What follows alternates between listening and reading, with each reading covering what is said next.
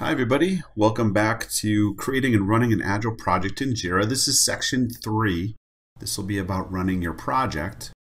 In section one, we figured out what is Jira and how to get started with creating projects. In section two, we talked about managing all of those work items, what the different work items were. We went into a lot of detail about that. And in section three now, we're going to talk about now your project is running and you need to use Jira to manage that project while it's running.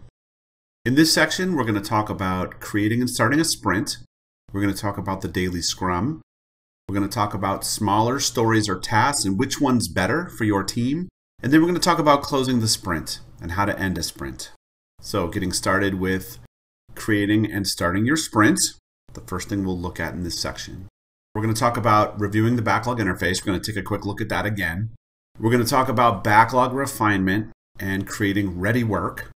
We're going to talk about sprint planning and how to plan a commitment and how to set up your sprint and then start the sprint. All right. Now, in the last section, we talked a lot about epic stories, bugs, and tasks in a lot of detail. And so, if you want to talk more about those things or look deeper into those, then go back to section two and look at those again. Here, we're going to talk about creating and starting a sprint. So, we'll look quickly at the backlog view. Now, it's going to allow you to prioritize the stories and tasks and bugs and things that are in there. We can filter the views, so we can get a lot of items in that backlog. You can get a look at different views of those by using filters. Then we're going to create sprints so that we have containers for that work.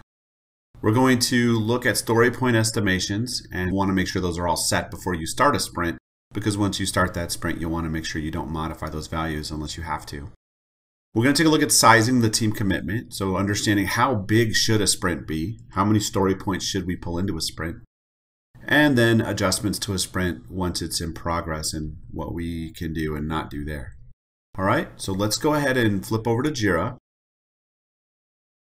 All right, so we're going to look at this project. This is the backlog view, and you can see we have some stories in the backlog here. We have four stories, a task, and a bug.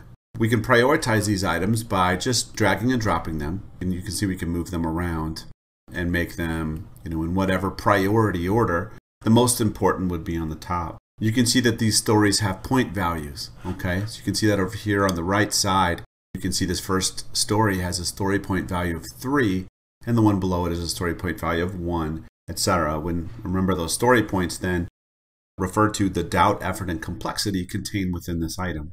We have the ability to edit those values by selecting an item, and you can see that in the right in the preview pane, you can edit some of those values, whether it's the status, assignee labels, story points, etc.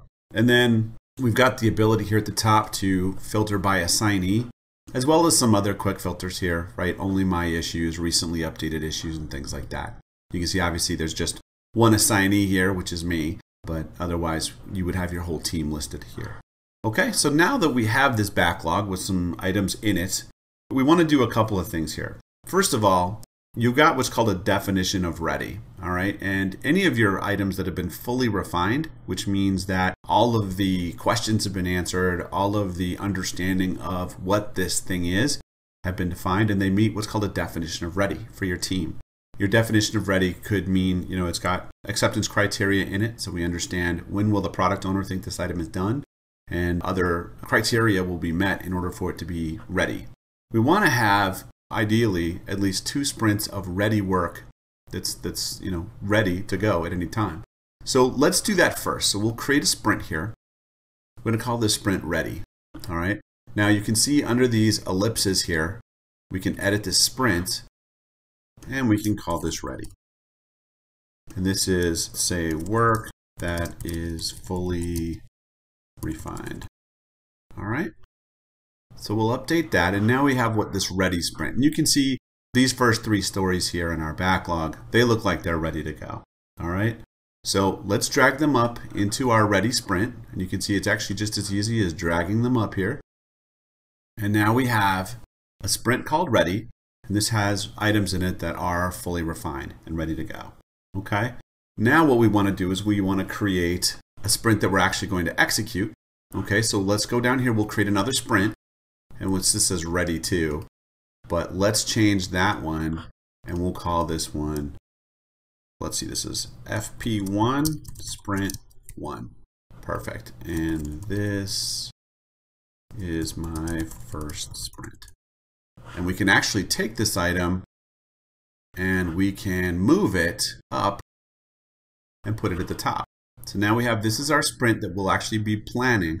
And then this is work that's ready to go at any time. Okay, and then th this backlog down here represents anything else that is in this list of things that we might want to eventually do.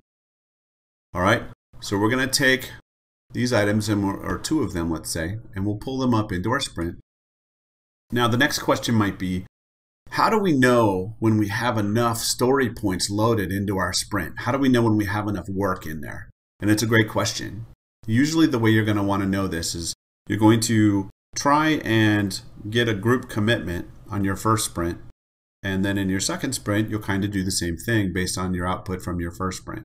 Now, the number of story points that you complete in your sprint is called your velocity. All right, so you use the velocity from your previous sprint to help you determine for the next sprint. Were we able to complete it? Yes or no?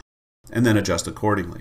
Now, after three sprints, you'll have what's called yesterday's weather. And the reason that they call it that is because yesterday's weather is known, right? We know what the weather was yesterday, but the weather tomorrow is a forecast. That's the best we can do there. Um, it's usually pretty close, but it may not be exactly right. So we can use yesterday's weather, which is the average of the velocity for the last three sprints, and that becomes the maximum that we'll want to plan to. So given that as a team here, FP Sprint 1 doesn't have a previous velocity, then we're going to go ahead and commit to four story points, you can see here, and we'll see whether or not we're able to complete those. All right, so now that we've got our sprint all set to go, story points are in there, all of the stories meet our definition of ready. We've even got some additional stuff here in case we finish these things early. Let's go ahead and start our sprint. Now you'll see that we have the ability to name the sprint, which we already did, the duration of this sprint with start and end dates, and the sprint goal. See how many working days are in this sprint. Let's go ahead and start our sprint.